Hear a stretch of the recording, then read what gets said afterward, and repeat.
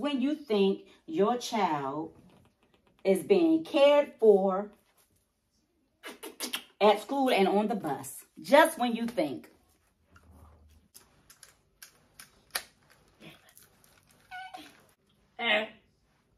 YouTube friends. Mm. YouTube friends. When you have your suspicions, mm. go with your mm. instinct. Please go with your instinct. Our intuition never fails us. It never fails us. So, unfortunately, I had to do this. I had to take this recorder. Okay, I had to take this recording device. Okay, with some tape. And put it in my daughter's bag.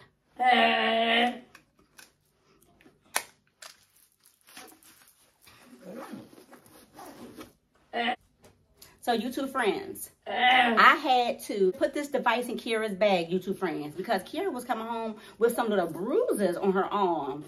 And I couldn't explain it. Her father couldn't explain it. And uh. when we talked to the bus driver, the bus aide, and the school, no one knew where those bruises was coming from. So me, being a mom, I had to do what I had to do. Okay? So what I did mm-hmm. is I mm-hmm. took that little small recording device and I placed it in her, in her book bag. And sure and behold, mm-hmm. guess what? Guess what I discovered? Guess what I discovered? Hey, kings and queens, kings and queens. When it rains, it pours. So y'all saw me earlier, right? Mm. I placed a recording device in Kiara's book bag, right? I had to do it. I had to do it because I mm. didn't understand why Kiara had these bruises on her arm. And you know, it could have been an accident. But again, I couldn't explain it. Her father couldn't explain it. The teachers didn't know what happened. Neither did the bus driver or the bus aide, right?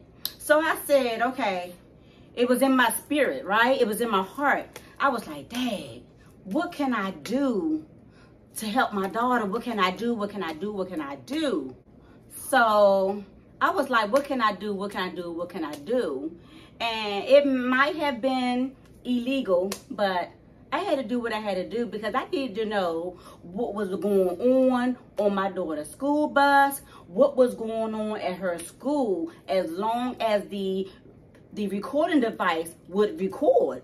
So I was trying to uh, catch anything. If somebody was saying anything to her, if somebody, you know, was hurting her, I was hoping to hear, you know, the sounds. So, huh, do you want the tea?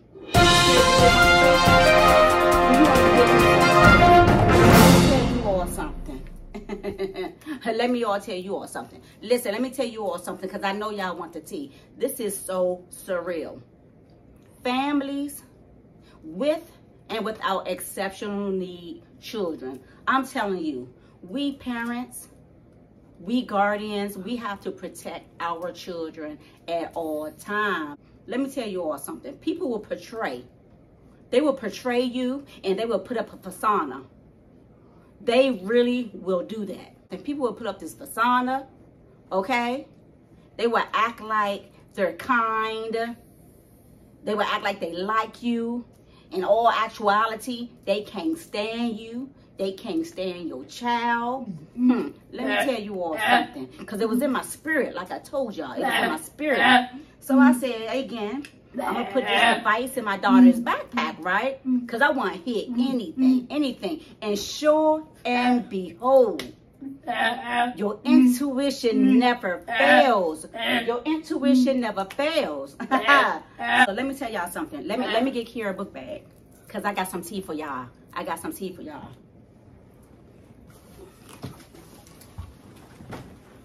Kiara book bag, right? I hid the device in like her pocket of her book bag, right? So she had this baby playing all day as long as it would, right? Kiara gets home, get off the bus. We get her settled in. She eats. She goes to the bathroom, you know, our our routine when she gets off the bus. I'm like, okay, I'm anxious, I'm anxious, I'm anxious. I'm praying that we're gonna um have some kindness and some goodness going on here, right? But um, I opened this up. I know. I'm like, okay, let me rewind it. Let me rewind it. Let me rewind it because you know it's playing all day. Let me rewind it. Let me rewind it. let me tell y'all what I heard on here. So it timed out. The recording timed out by the time she got at school. Because usually from here to Baltimore, it's like a 45 minute drive, right? So it timed out by the time she got to school. But, uh-oh, sorry, baby. But what I heard, but what I heard on the school bus was disturbing. It was quite disturbing. So, right, Kiara, I can hear Kiara because I know my child voice. I can hear Kiara and I can um hear the ladies telling her to shut up. it's on the recording. And I wish it was loud enough because you got to remember the sound is going to be. And I wanted to play it, but I can't because you are not going to be able to hear it. Uh-huh. But the sound was so dense because you got to remember you got the engine uh-huh. playing on the bus. You got the other kids going on and uh-huh. talking and things of that nature. And so the sound is real dense. So what I heard on the recording was the bus driver and the bus attendant talking about my daughter. They were talking about my daughter, they were talking about me, and they were talking about Mr. Brown. Okay? In the midst of all of this, they were telling Kiara, because you know she was making sounds and she kept calling their names over and over. And I ain't gonna say their names, but they kept on calling her name, Kiara. Kiara kept calling their name over and over again on the bus. I'm not gonna say their name, but Kiara kept calling their name over and over on the bus. So um the bus um um aide told Kiara to shut up. I was like, er? So, okay, I'm like, wow, I'm, I'm disturbed, I'm upset. So, you know, Kiara kept calling their name, kept calling their name, and I, I can just hear that um, bus driver, because I, like I said, the bus driver aide, I can hear her, um, I can I can tell by her voice. I could tell by her first, her voice kept telling Kiara to shut up. Kept, kept, I know, I know, I'm going too fast. I'm going too fast because I'm upset. I'm upset. So anyway, anyway, so listen. Kiara, Kiara bus driver, right? Kiara bus aide they were having a conversation. They was having a conversation about Kiara. They was having a conversation about myself as well as James. And like I said, they kept telling Kiara to shut up, right? You know, because she was trying to communicate, you know, as best as she could. So they were telling my daughter to shut up, okay? Not only were they telling my daughter to shut up, I also heard other children babbling as well. And they were telling those kids to shut up, okay? So what bothered me the most, all of it bothers me, but I heard the bus driver said, hmm, to the bus bus driver now because she's talking to the bus driver you know so it's a bus um driver on the bus and the attendant with the students so they're they're communicating I have everything on here. I have it all on here. They're communicating back and forth, and I can hear them saying, um, um, Kiara's going to end up in a mental institution. Um, she crazy. Yes, they did use the terminology crazy. Yes, they did. I have it on the recording, right? So they use the terminology crazy. Okay? They said, my daughter is crazy. They said, I don't know how they handle her. It wouldn't be me. I would have been had my child in an institution. Have it all on this recording.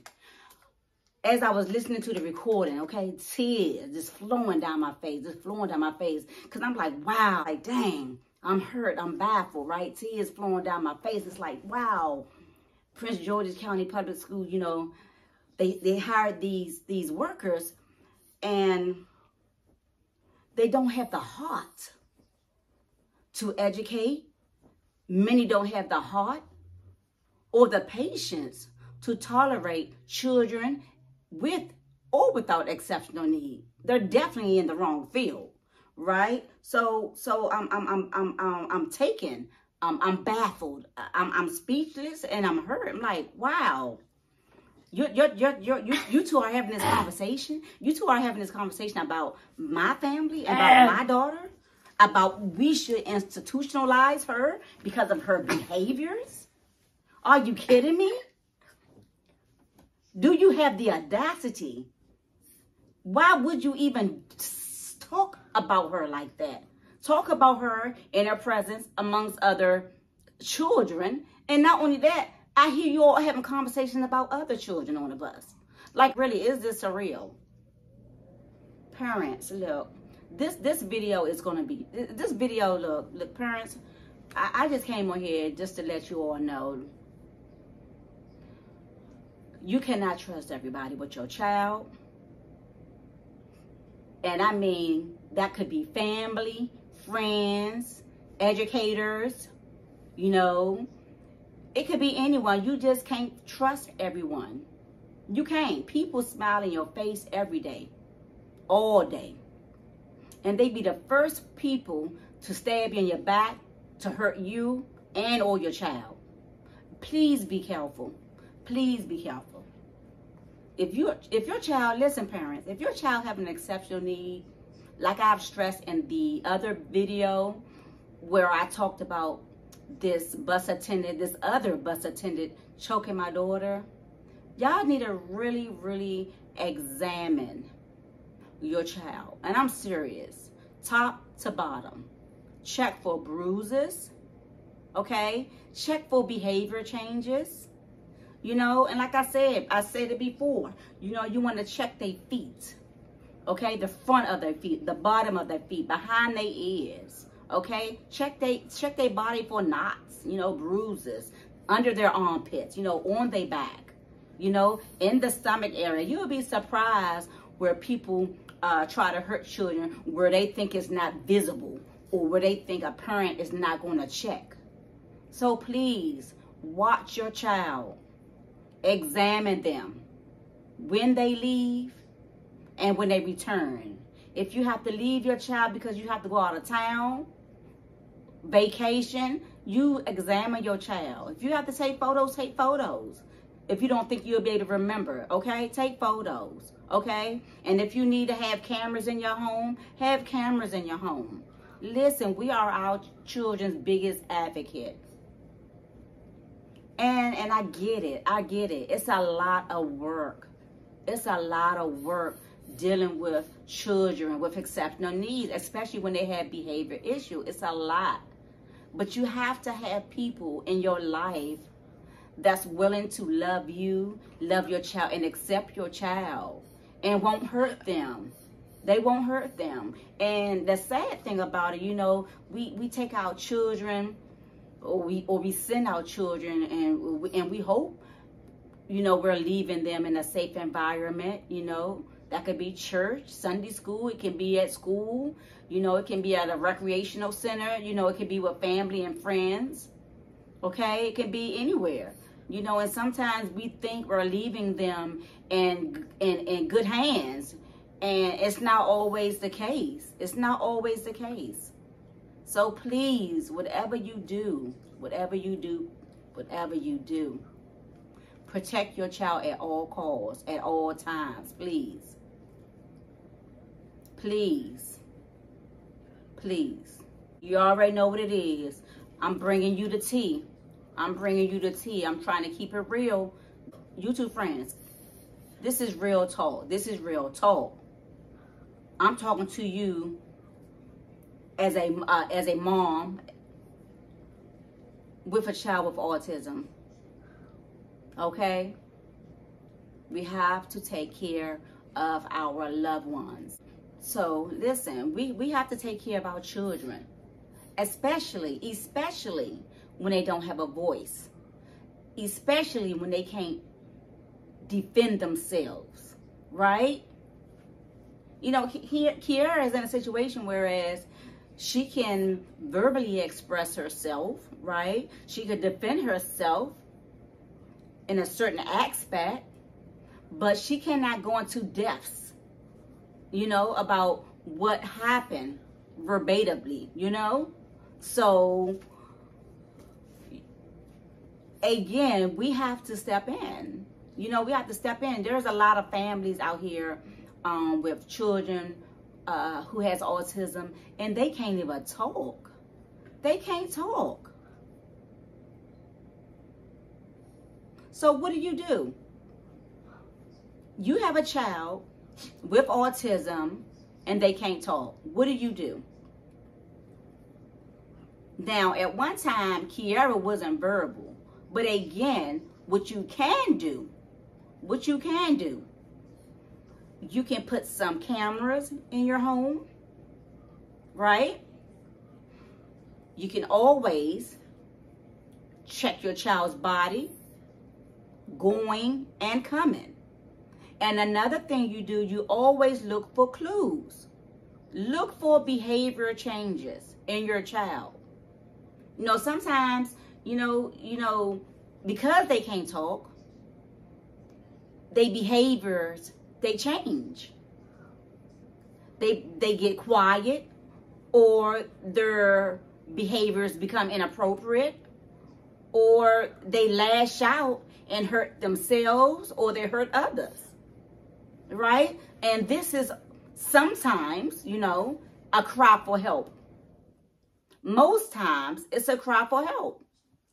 And then there's other time where it's just a part of their uh, disability. But if you see sudden changes in your child, please be observative. Please be observative, okay? Be observative, okay? So again, always check for bruises and areas where you wouldn't even expect somebody will hurt your child, okay? Because I am one to have witnessed, okay, a child being um hurt. Okay, I witnessed it for myself. Okay? And what they say, you see something, you say something. Right? So we do unto others as we will have them to do unto us. Right? So just think if that was your child, how would you treat your child? How would you want somebody to treat your child? I need you all to think about all of that. Please think about all of that. This is real. And um I thank I, I just thank God for just putting this idea in my head. And again, like I said, it's probably it probably was illegal. I'm not really sure. But at the same time, I really don't even care because I got the proof that I needed. And for those who are curious, it was brought up. Okay. I took it to the bus lot foreman. I communicated with the school about this recording, okay? And the people that was involved, they were terminated. They were terminated. Their behavior were unethical and it was unprofessional. Unethical, unprofessional. So, with all that being said, we love you. We love you. We love you, YouTube friends, because you care for us. And we care for you all as well. Just keep on liking